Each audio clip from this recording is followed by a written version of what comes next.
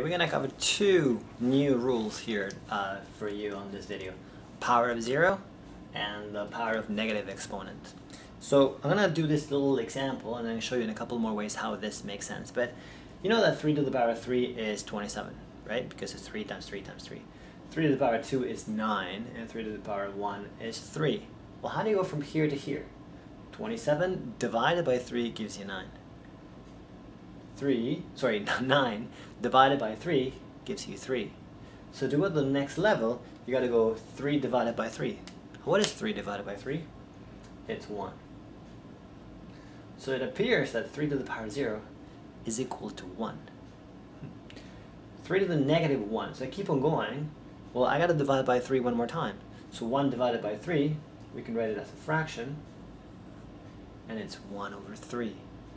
Now, if I do 1 over 3 one more time to do 3 to the negative 2, if I divide that by 3, it's like saying 1 third times 1 third, which means I will have 3 to the power of 2 or 1 over 9. So as you can see, 3 to the power of 0 gave me 1. And when I started going to negative exponents, it's like saying 3 to the 1, but on this power over here. 3 to the negative 2, it was like 1 over 3 squared, and uh, and that gives me 1 over 9. Looks like my family's back from, I'll, I'll introduce them to you. 10 to the power 2 divided by 10 to the power 2. Well, what is 10 to the power 2? That's 100. And 10 to the power 2 over here, it's 100 also. So 100 divided by 100 is equal to 1. But if we use the like bases, dividing like bases, we know that it's 2 minus 2, which gives us 0. So 10 to the power 0 is also 1. Any number to the power of 0 is actually 1. What about this? 3 squared divided by 3 to the power of 5. If we expand it, I got 3 times 3 times 3. And if I expand it, I got 5 over here. So I can get rid of this 3, and I got 1 3 to the power of 2 to the power of 2. And that is 3 to the minus 2, like we had over here. So that worked out perfectly. I think they're hiding. Check. Hey, voy a saludar a mis alumnos.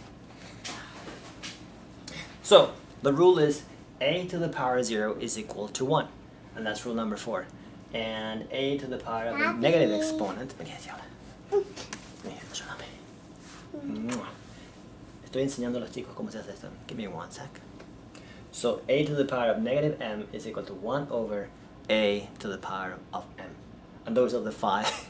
those are the, that's the fifth exponent rule. Okay? Now, there's a slight rule over here when you have 8 over a to the minus m. Well, it just becomes positive on the top. So the, the negative exponent sounds like an elevator. If it's on top, it makes it go to the bottom. And if it's on the bottom, it makes it go to the top. Right? Okay, déjame que también hacer una cosita para Trata de no hacer mucho ruido, please. That's Victoria, by the way. Okay, cuidado con el trípode. b squared to the power of 0. Well, the power of the power is 2 times 0 is 0, and any number to the power of 0 is 1. And what if I had this big thing? The whole thing is to the power of 0. If the whole thing is to the power of 0, that means that this is going to end up being 1, 2, which is kind of nice. Very good, Victoria. And lastly, this is a tricky one. Minus 4 to the power of 0. You're going to be tempted to say 1, but it's not. It's minus 1. Because remember on the basic video, if I said minus 4 to the power of 0,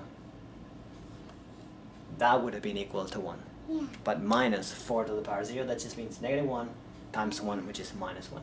Yeah.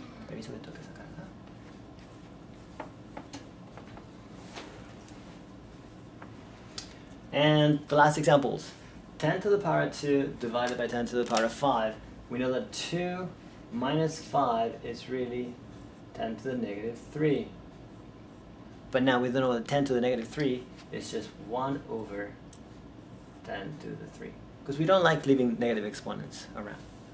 2x to the negative 3. Both things are going to be to the negative 3. So if I use that minus sign, this is the same as 1 over 2x to the power of 3. And now I can continue one more step. And this 1 is 2 to the power of 3 is 8. x to the power of 3 is x cubed. This one, 2 over 3 to the negative 2. I'm going to take the minus exponent, the exponent, negative exponent one more time. And the 2 is going to go to the bottom, and the 3 is going to go to the top. It's going to be 3 over 2 squared. And now I need to square them. 3 squared is 9. 2 squared is 4. And the last one, let's put everything together. 6 divided by 3, those are coefficients, so 6 divided by 3 is just 2. X squared divided by x squared, well 2 minus 2 is x to the 0. y to the power of 6 divided by y to the power of 4 it's y to the power of 2.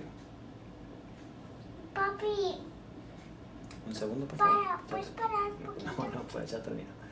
x to the power of 0 is equal to 1, so that leaves us 2 y squared. That was interesting. Mira, se está